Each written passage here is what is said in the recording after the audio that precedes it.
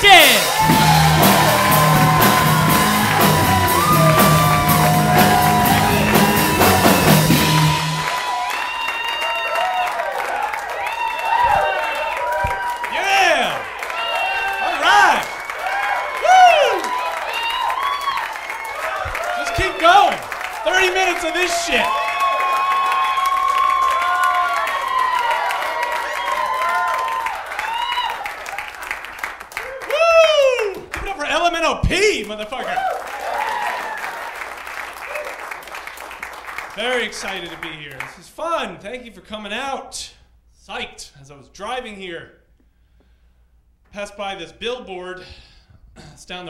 Bit for Jurassic Park The Ride at Universal Studios.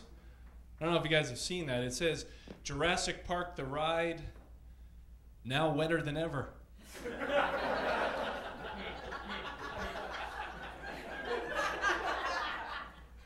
Drove by that sign, I was thinking, man, I want to fuck that ride.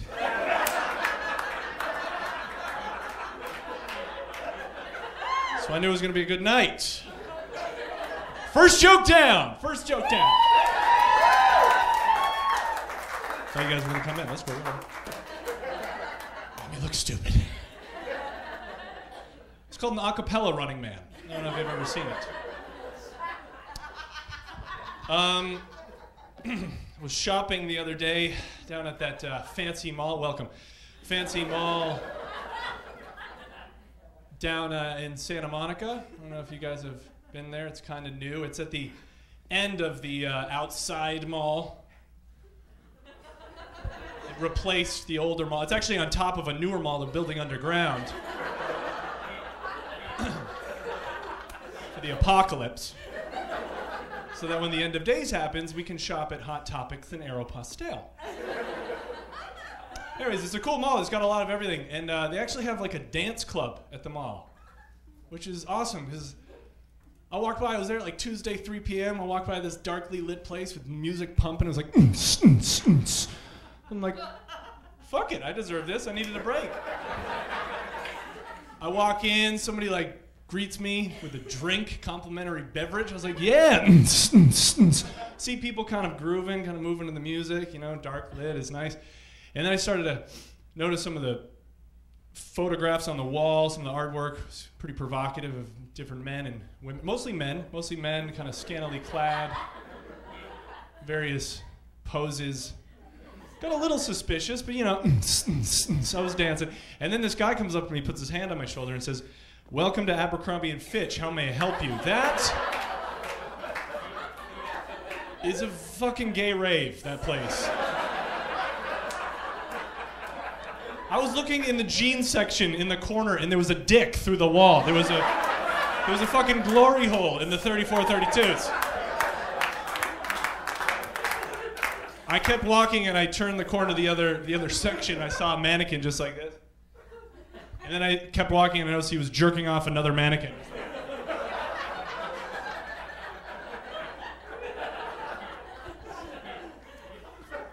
Mannequins weren't looking at each other. That's what dis- disturbed me the most. It wasn't intimate. It was crazy. I went for a sweater and I left with 10 pills of ecstasy. It was cool though. The promenade's fun. All the bike cops on the promenade. That's the best. These bike cops, just, you know, dressed in pleated khaki shorts, tight fitting shirts, riding atop matching Schwinn bicycles. We supposed to respect and fear these guys? Looks like their mothers dressed them before, you know, the first day of third grade, got them ready for school. Hey, Skippy, got your uniform for you just like you like it on your bed, all pressed and nicely laid out. Thanks, Mom. but it's Officer Skippy. We went over that. Sorry, sorry, Officer Skippy. I'm so proud. I even shine your little badge and put your belt through the belt loops like you like it. Thanks, Mom. Oh, remember, Skippy, it's wear your helmet. It's the law. I know, Mom. I'm a police officer, remember? I enforce the law. Now, if you will excuse me, I'm going to catch some bad guys. Bye, Mom. Anytime I see those guys like riding down the street in groups of like three or four in formation, I always, I always get the, I always feel like they're gonna break out into some sort of like rock musical at any moment. Just like, fum fum fum fum fum fum, we patrol the streets for drugs and crime. We can adjust our seats at the drop of a dime. We're bike cops. Whoa, we didn't do too well on a police exam, but we can pop a wheelie and ride with no hands. We're bike cops. Whoa. If you run from us, we'll just pedal faster. If you hop in a car, well, then you're a bastard and we'll get you eventually.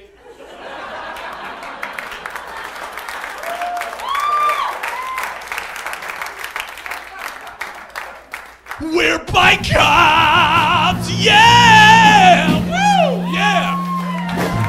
Fuck yeah!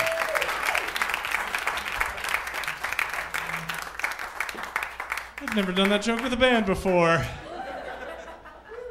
Got a little excited. I don't know, maybe they have the right idea because fucking driving sucks. Like, good transition, huh? this guy knows. no, I mean, yeah, maybe ride a bike everywhere. I was like driving. Fucking is so annoying. I was uh, at a stoplight the other day, second in line, first person in front of me, red light, where that person's only job is to watch that light turn green and then go when the light turns fucking green. I always get behind the person who has decided to do everything in their life during that red light. It's like, well, I gotta, gotta send Margaret a text because she needs the sizes for that dress. So that's. Oh, you know what? I forgot to set my presets on my radio. Stupid. Soft rock should be before slow jams, cause yeah, cause I go to work in the morning. I like soft rock in the morning. When I get off work, I like slow jam. Oh, sorry, somebody beep. Like that's what the fucking horn is for. I love the horn because it's just very direct. Bam! You cut out all the bullshit A well placed honk. I've started to use the horn in my non car life.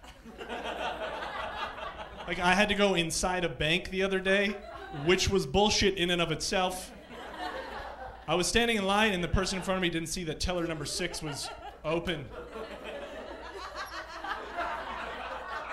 So rather than have that kind of awkward exchange, I just went, ha! And she was like, Thank oh, that's good. Sorry. It worked. Try it. You gotta mix it up. Driving get boring too. A little fun thing you can do while you're driving on the freeway. Another thing that happens when you're driving and somebody p- passes you on the left because maybe you're going too slow. He passes by you at like 80 miles an hour, giving that disapproving look, like. what is that? Everybody, everybody does it too. That's the thing. You can't really help it. I don't want to. Mm. so next time, next time you feel that happening, feel the person coming up on your left, just put both hands on the wheel and go. Ah! Like, that's a monster. I just cut off a monster. I just cut off a monster on the 405, and that like ruins that person's whole day. That actually works too if you ever fly Southwest and you're sitting while people are boarding. You don't want anybody to sit next to you. Just be in your magazine every once in a while, just like.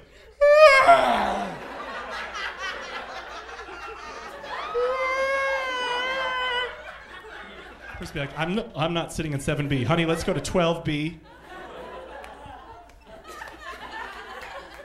Look at the whole row. You'll get the whole row.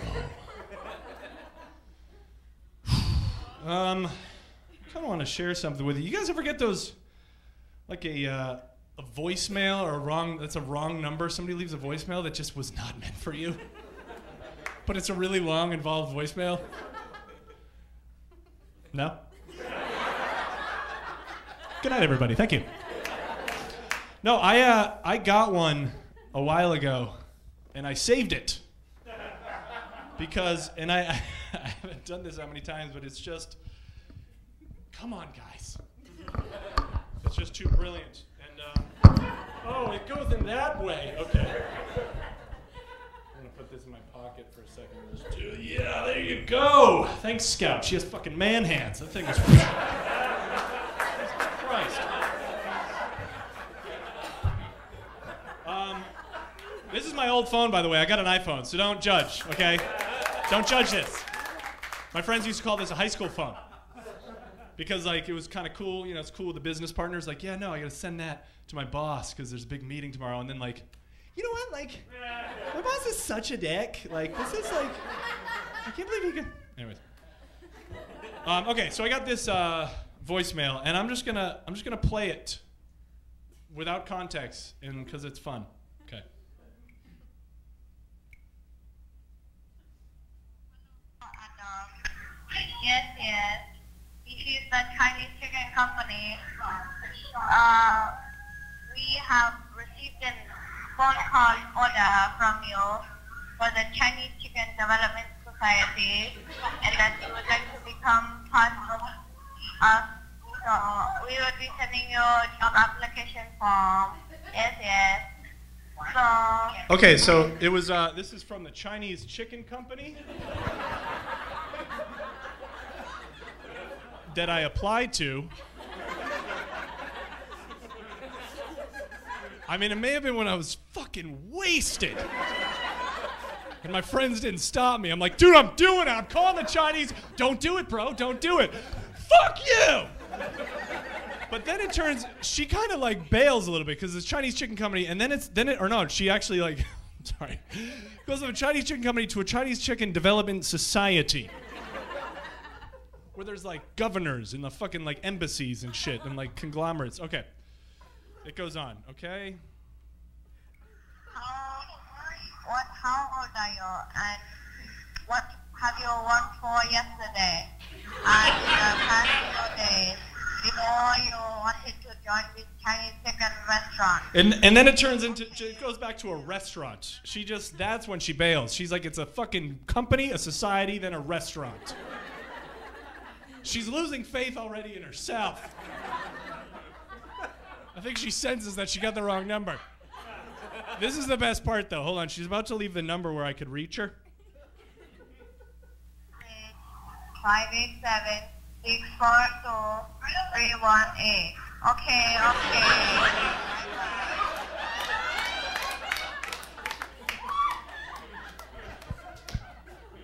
In the Chinese chicken world,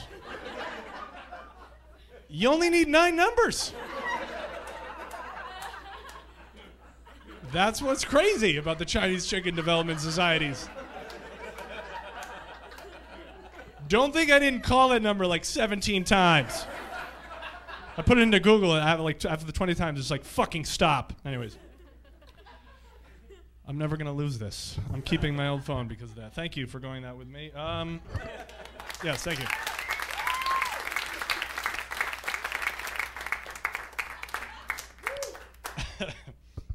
Um, I uh, a while ago I took an acting class because um, I was trying to look for a new way to waste five hundred dollars, and uh, the teacher the teacher had us study an animal for our character work. See how an animal moves and sounds, you know, for character work. Apparently, Robert De Niro does this before his films, so you know it's legit. So. I guess uh, for Cape Fear, he studied a raving lunatic bird or something. Goodfellas like a dolphin. Anyways, I uh, I chose a tiger for mine. We were doing a scene from an NYPD Blue episode. And I was playing a real kind of dick, like Wall Street guy who was accused of killing his wife. So I thought, like, you know, a tiger would work. So, anyways, I go to the LA Zoo in uh, mid August. I don't know if you guys have had the pleasure of going to the LA Zoo in the middle of the summer, but it is a horrible place to go. Holy shit, it's 197 degrees in the shade. The animals, uh, well, at any zoo, really, the animals are really sick to be there, but they are fucking. If the animals all could talk, they'd just be going, It's so hot! Fuck! Get me out of here!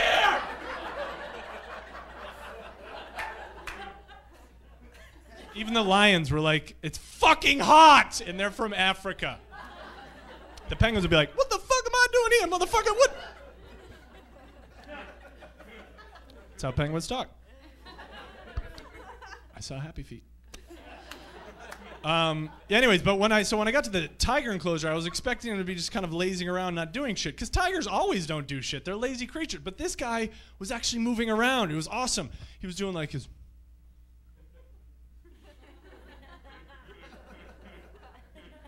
So of course I was taking notes my character. And then it made, and then it growled. I, I had never heard a tiger growl before. Has anybody? It's not like a lion growling. It's not like the MGM lion. It's a fucking weird sound. It sounds like a cat. Have a seat. It sounds like a cat, but like times a thousand. It's really strange. So, anyways, took notes on that. Brought it back to my scene. Got in the scene. It was like with Sipowicz in the interrogation room. and I remember my, my climactic line was, I'm not going to let her destroy everything I've worked for. I wasn't, no, I wasn't going to let her destroy everything I've worked for. So the scene was going. I was doing all this kind of, but keeping it inside, you know what I mean? Like keeping it on. It was getting heated between me and Sipowicz, you know, going back and forth. And then that moment came where I had to say my line. I was like, I wasn't going to let her destroy everything I've worked for. Wow.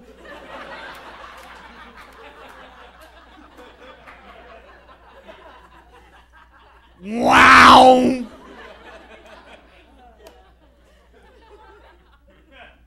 End scene.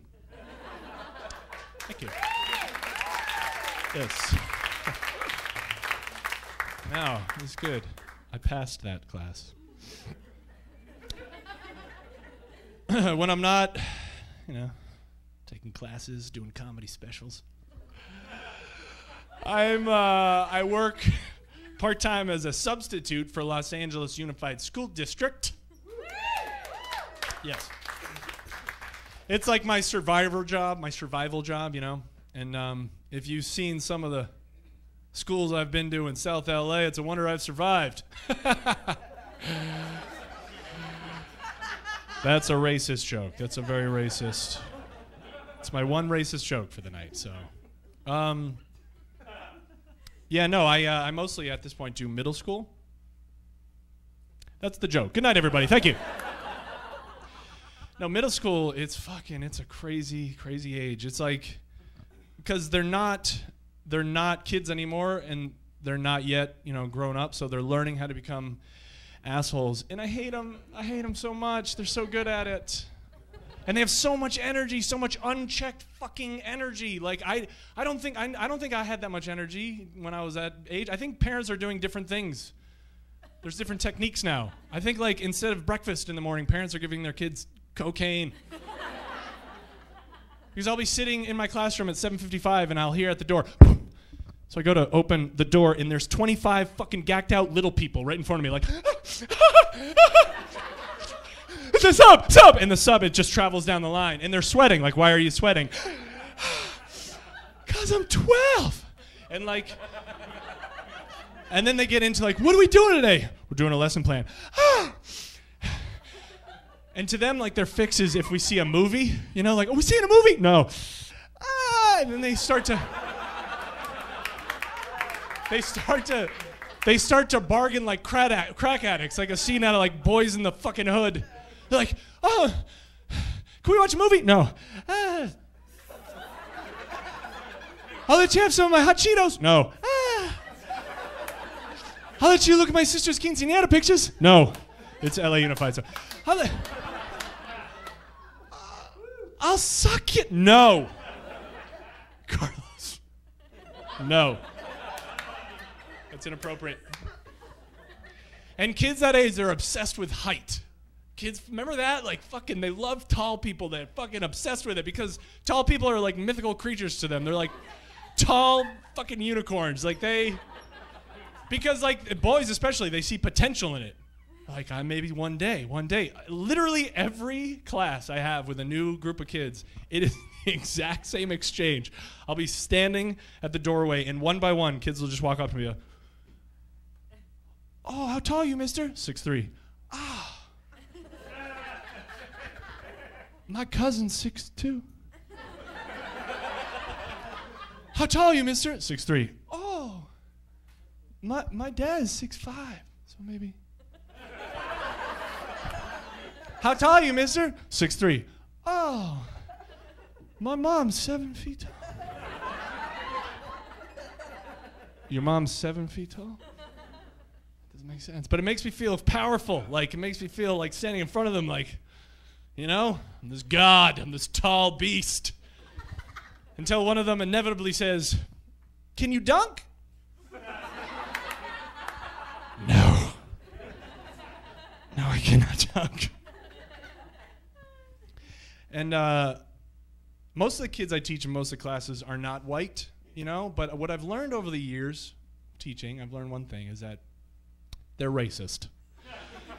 They're all fucking racist because they all think that white people look alike. They think that I look like every white person they have ever seen in person or on television. They'll be like, Are you related to Mr. Rothblatt, our math teacher next door? You look like you could be brothers. Oh, Mr. Rothblatt, you mean the 64 year old short Jewish balding man with a beard? Yeah, we're fucking twins.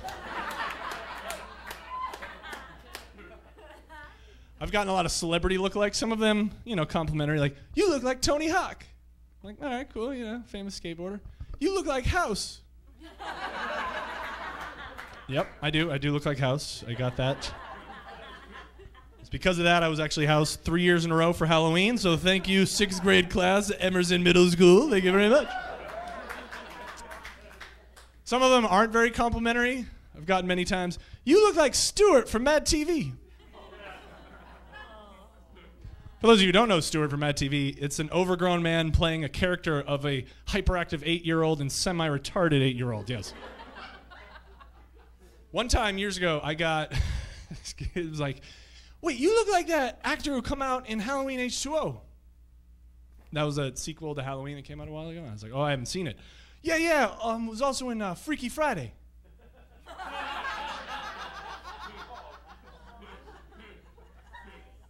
Jamie Lee Curtis? yeah, you look like Jamie Lee Curtis from the Activia commercial.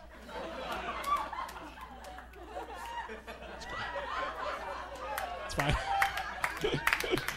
that was my favorite.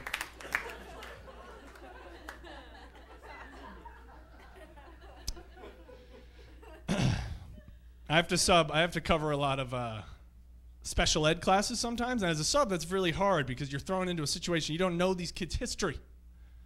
Like there's kids who are ADD, ADHD, autism, Asperger's, hyperactive, you know, mental disorders, physical ailments, Down syndrome, and some are just fucking stupid. Like I don't, and I don't know, so I have to kind of just make it up.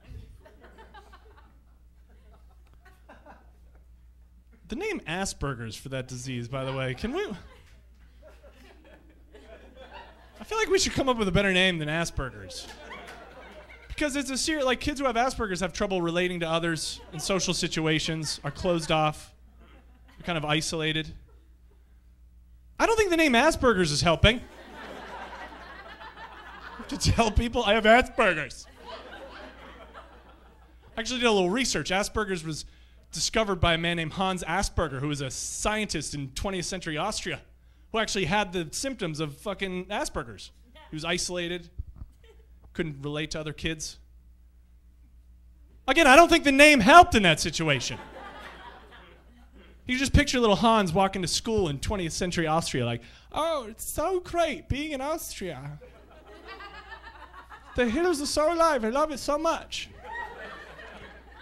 Oh, scheiße, there's Gunther and Wolf. So always make fun of me. Don't look at them. Keep walking. Hey, Gunther! There's Asperger! hey, Asperger! You want fries with your Asperger? Oh, that's good, Rolf. That's good. Yeah, how do you want your Asperger cooked? Medium will kick your Asperger. The dude. The dude didn't have a chance.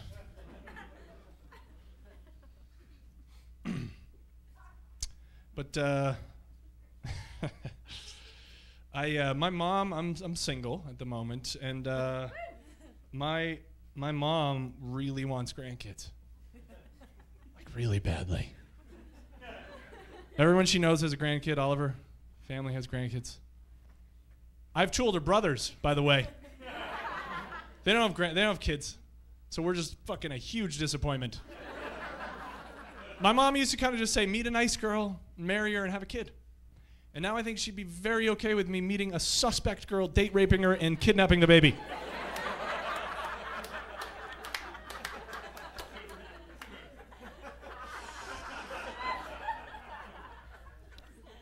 But I'm trying. I've dated, I've dated, I've dated a lot of girls. I've dated, I dated for a while. I dated younger girls, like 23, 24 for a while. That was a, that was good. I mean, no, it's good because 23, 24, they're not jaded yet.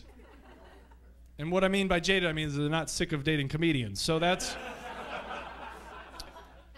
and uh, dated, you know, older women too, and that's great because they're. But mm, sometimes I, I get scared that they're a little too ready to settle down, like too ready to have kids. Like they'll tell you, no, no, everything's great. I don't want to change anything. Like it just the way it is. But then one night you might wake up in the middle of the night and see her sitting at the edge of the bed, naked Indian style, being like, "I raped you in your sleep. I think it worked. I can feel life inside of me." Uh, I don't know. That's maybe that's just my. That's my fear of commitment manifesting itself.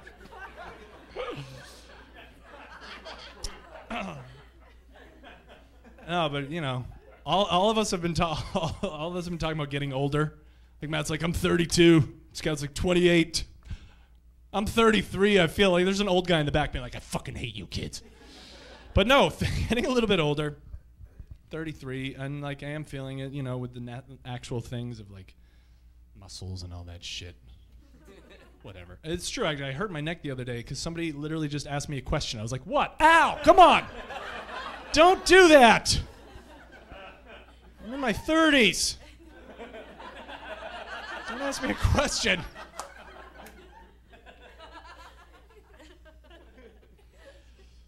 But like, and also, I can't drink like I used to.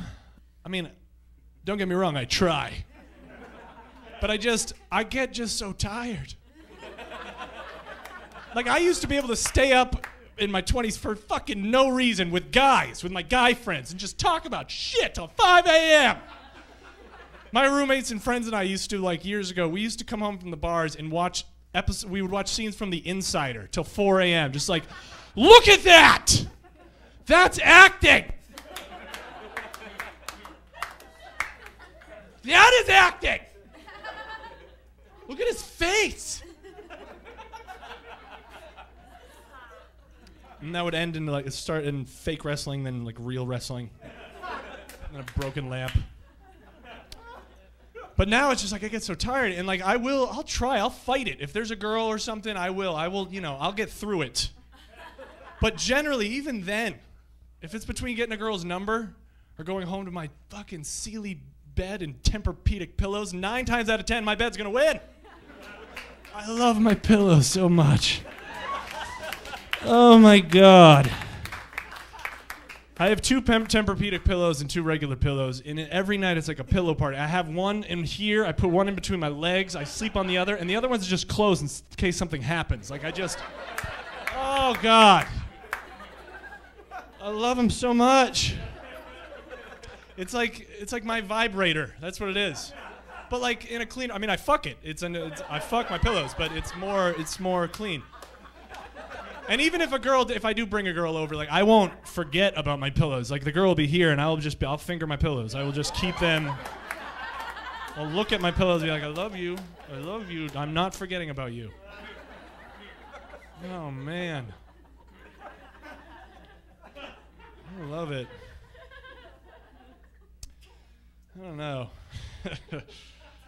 but like 33, when my dad was 33, he had done a lot more than I have.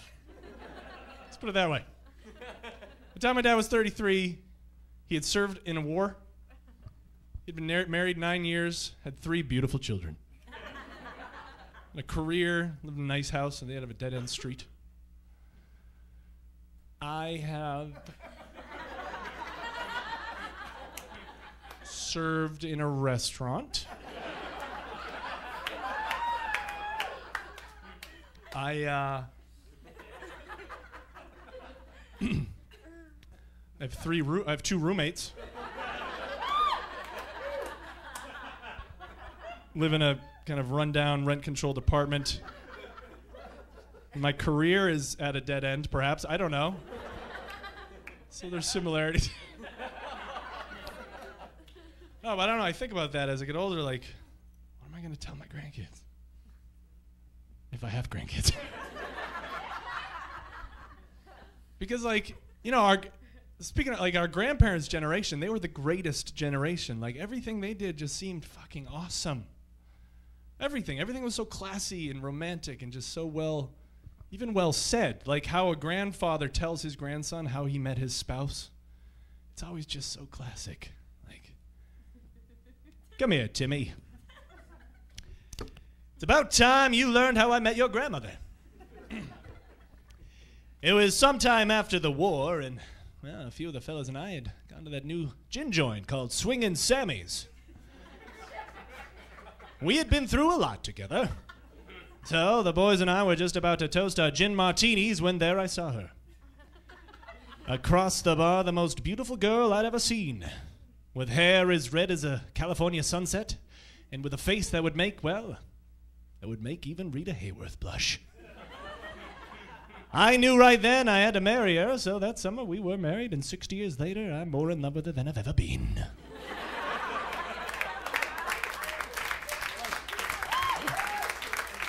yeah. Yeah, clap to that, because that's a story. That is awesome. I'm very nervous what I'm going to tell my grandkids. It's going to be more like, Come here, Timmy. For the purposes of the joke, we all talk like that when we get older. it's about time uh, you learned how I met your grandmother. We were in Vegas at my buddy Steve's bachelor party. A few of the fellas and I had just finished blowing lines of cocaine off the two lady dancers we just invited to our room to perform various acts of cunnilingus and mutual penetration.